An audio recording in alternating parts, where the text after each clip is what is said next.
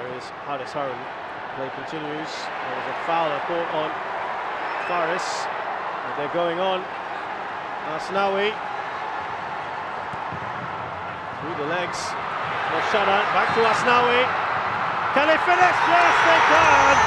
What a goal that is for Indonesia. Witan Sulaeman opens the scoring.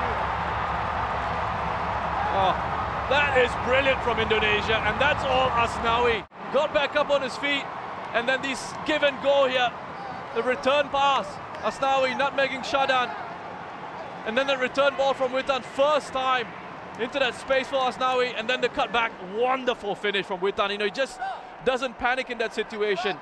Allows the ball to come across his body, opens up his body inside of the foot,